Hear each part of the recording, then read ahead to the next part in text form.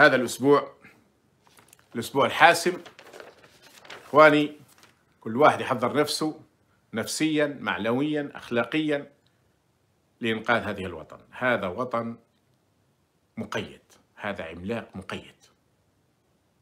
سينجو بإذن الله وستتكسر القيود لتصبح الجزائر دولة إقليمية ضاربة. وبإذن الله في المغرب الكبير تصبح قوة عظمى في بضع سنين بإذن الله.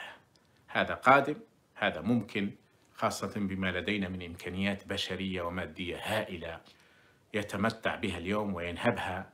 كمشة من الناس وأكثرها يعطى لأسيادهم في الخارج. حي الله أحرار البلاد.